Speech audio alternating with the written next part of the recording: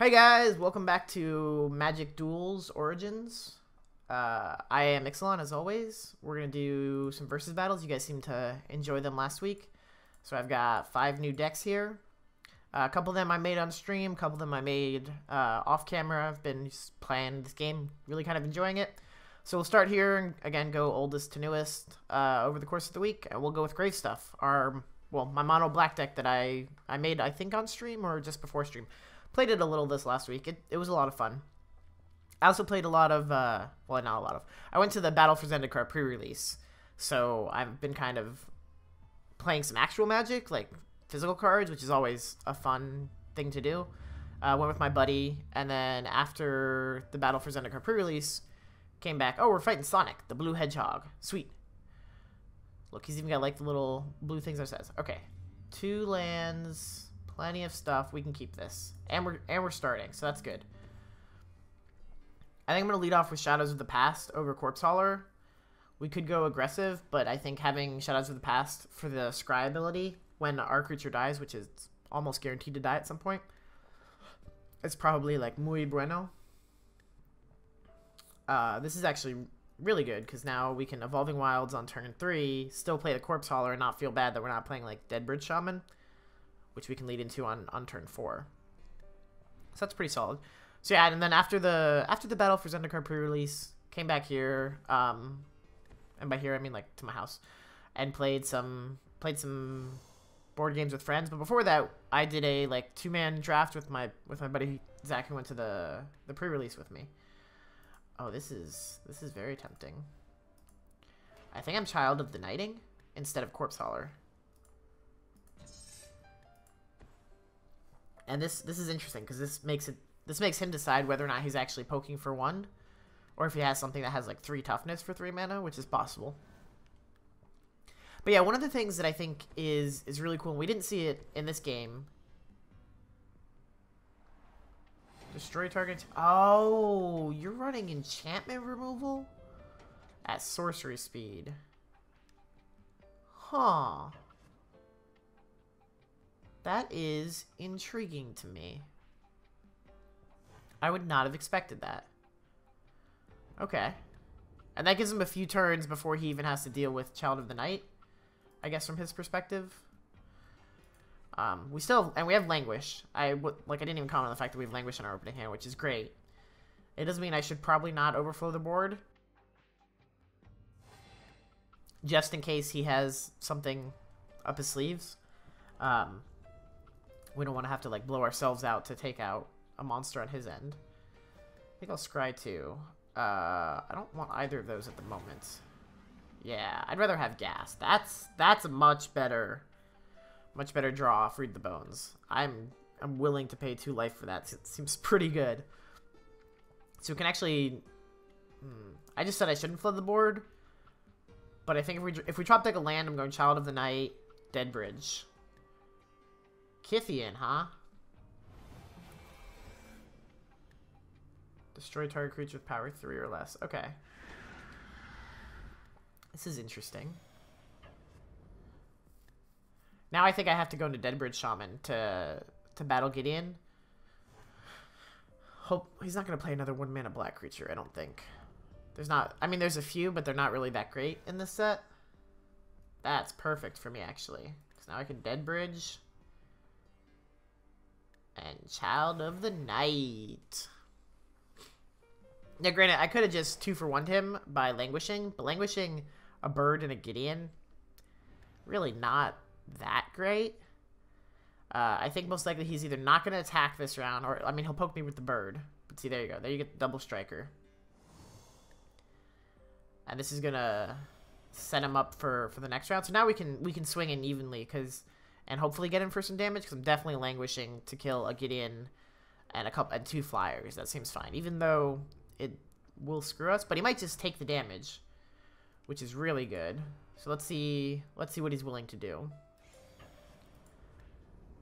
My guess is he's not going to block with Gideon. He's probably going to send the sure strike or the double striker here and just take two. But he might try to prevent me from gaining life by killing this first and just taking three. That's what he did. Okay. This works out even better, because now I feel like I'm really getting a good deal. I get in for 3 damage. I don't get any life, which is, you know, kind of a downside. Um, but when I languish here, I am 2 for 3ing, but I'm really 2 for 4ing, because I'm, I'm killing a card out of his hand. So now he's got to, like, completely rebuild his uh, board position. It's, it's going to be a little hard for, uh, for a weenie aggro, which is kind of what this is looking like. Tossed a land, meaning whatever else is in his hand is probably important. So we're going to see what, what comes out of here. An accursed spirit. Okay. I'm okay with the accursed spirit because that means we can we can chump it with a child. Trade our our two drops for his. Ooh. I kind of like this. This is a little bit riskier, but I'm gonna get back the Deadbridge Shaman. So we're trading our 4 mana for his 4 mana, which is fine. But we also got our hand, dis hand disruption back. And 3 mana for 3 power creatures. Pretty solid. Although, I'm since I played in the Battle for Zendikar pre-release, I'm kind of in, like, draft mode and, like, lim not draft, limited mode, because I played sealed, so not quite draft. But, uh, 40 card decks, like, the, the vanilla test for, for power is a little bit different. I've got a 1-4. My player loses life. Okay, so we'll just stop him from doing shit pretty much all day. Um, I think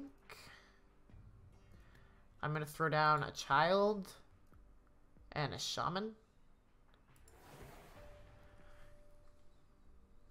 And I'm not going to attack this turn, but we'll attack with the shaman next turn. And this kind of forces him to either play out his hand, if he can, or, like, if he plays out his hand, then he's not really worried about the Shaman, obviously. So I guess it kind of depends. If he attacks with this 1-4, we're obviously, like, we can chump it with the Gravedigger if that's all he attacks with. Or we can force a trade with these two if he attacks with, like, both of these.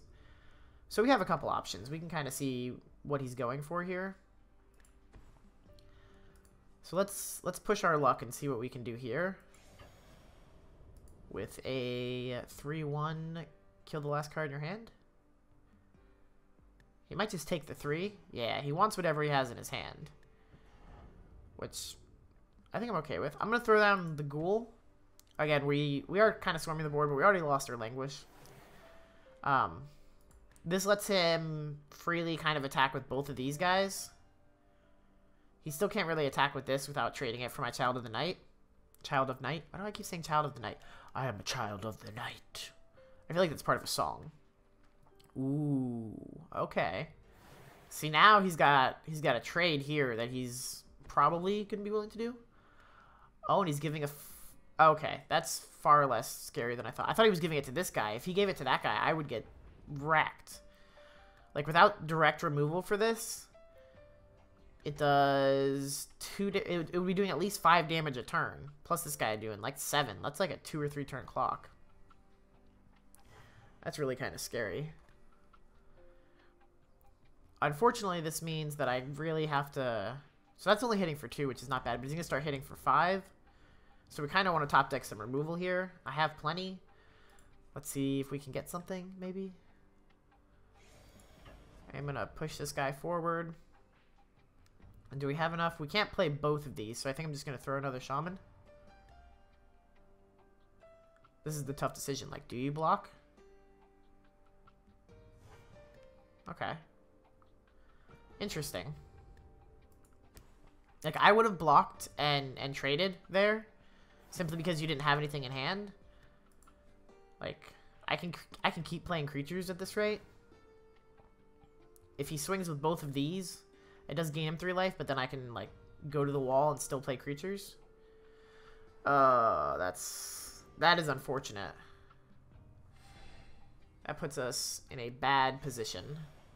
We effectively have to top deck top deck removal, not top deck. That doesn't make any sense.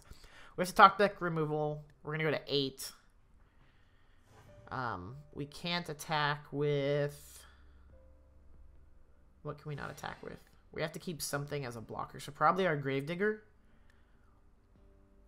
Or can I? I can drop two creatures, so we can block both of those. So they can only send us to one, depending on what what they rip. Um, return up to one target zombie card from our hand. Let's attack with everything. See what he does. We're going to gain some life no matter what, because his first striker's gone. It's not going to be super terrible. Okay, perfect. That's a fine... I mean, that's not really a trade. That's a trade. So two for one. Yeah. This guy is... Oh, he's a shaman. I was thinking he was an elf zombie. We didn't send any zombies to the, to the graveyard, unfortunately. Obviously, we're going to make try to make him discard a card. He won't be able to. So now here's the question. This is instant, though. I think we pass turn. Can I play? No. Yeah, we get, we're going to have to pass turn and see what he does. How many creatures do I have? I have a lot. So yeah, this this could be bad. I didn't think about the fact that we needed a blocker for this. Okay, so I'm going to lose one, five from this guy, four from this guy. That's nine. He's going to gain three. I think I have to kill one of these. Who, though? One of the flyers, right? This guy's going to do four. That puts me at seven. I can't choose a card in the attack zone? What? That doesn't make any sense. I must have accidentally like clicked on the enchantment or something. That's like you can't choose this type of card. Okay. So we're not at three, right? Did we lose a bunch of life? Are we... Okay, we're at one. uh, that was not removal.